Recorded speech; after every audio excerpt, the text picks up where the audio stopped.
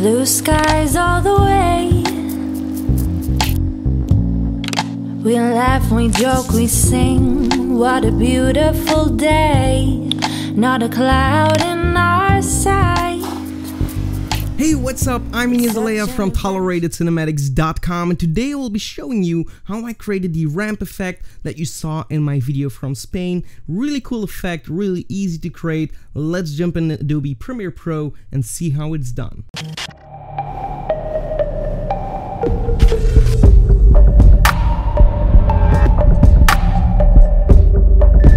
Alright, here we are Premiere Pro and today I will be talking about how to apply the time ramp effect to your edits. You can do some really cool and you can achieve some really cool effects using this technique. You have multiple ways of applying this, but I will show you my technique and the other options that you have. It's really cool to do, especially on the beat of your music, and you can really get your video to the next level, get a really nice vibe to it. So let's see how I did it. And if you want to see an example, in the description there is a video where I have used that technique uh, multiple times so you can see how it actually feels in the complete edit.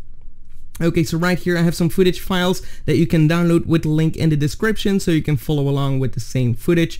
I have them filmed at 25 FPS. So what I will do is drag O1 here in a new timeline. I have a video file. I will delete the audio just like this. And there we have it.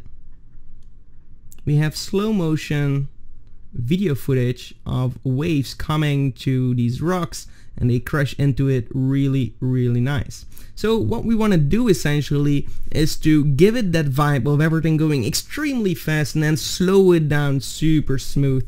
You can do this with a slow motion well a high speed uh, camera. I have a video about slow motion if you want to get into that. I will put a card on this video but that's not what this video is about. So I will be showing you how I apply this effect. So what I will do is actually search a time that I want to slow it down at. So right here they crash crash into these rocks. Really really nice. I will just stop it right here. So what I'll do is press C on the keyboard to select my razor uh, tool and I will click right here on my timeline just so it starts right over here.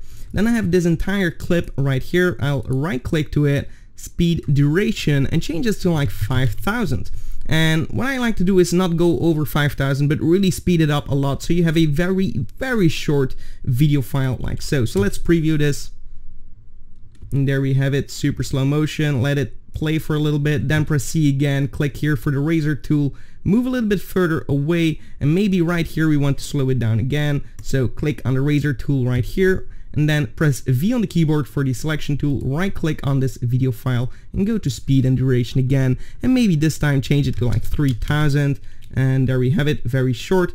Let's trim it down. What I'm doing actually, if I have this space, is click in between and just click on the backspace, uh, just so you know. So this is basically how I do it. So let's apply another video effect here and let's use a different technique to achieve the same kind of effect. So right here I have someone on a bike and he's driving around. My camera is uh, kind of on a uh, nice dolly here. Well, it's not on a dolly, it's on a gimbal, um, but we have some really smooth footage, really nice. So what I want to do is I want him to pass by very quickly. So we start right here, then we slow it down again, and then right here we speed it up again so we have him in the distance. So what we can do is right click, go to show key, uh, clip keyframes, and go to time remapping and click on speed. I'm going to make this a little bit bigger and I'm also going to zoom in a little bit.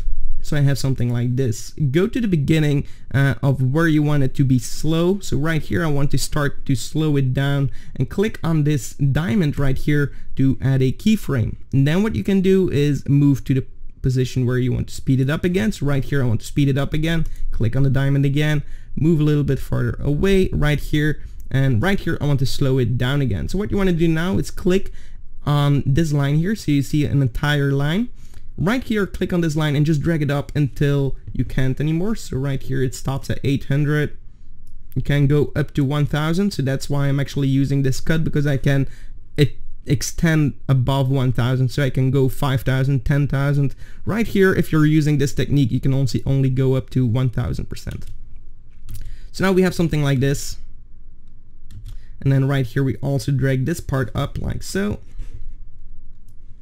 and there we go.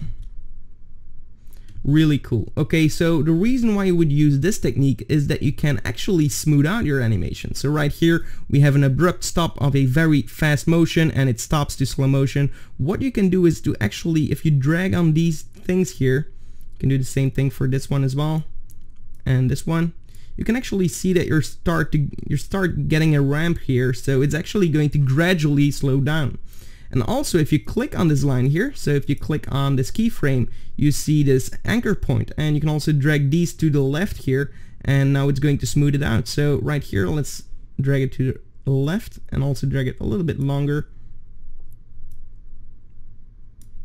Maybe this is a little bit too much. But what you will see is that it really smooths it out like so.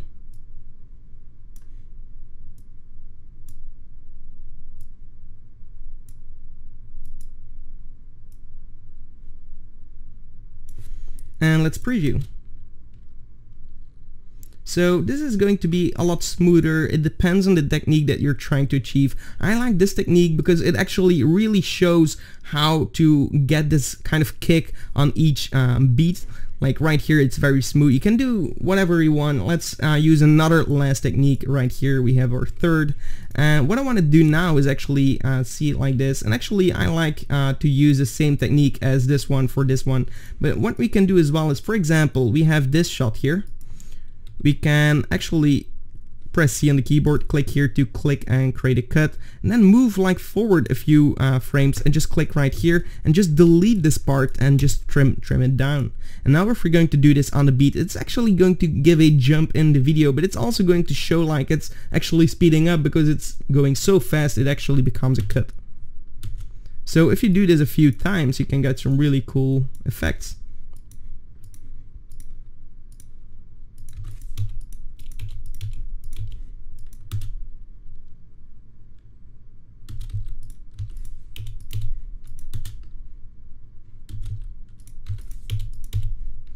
So there we go.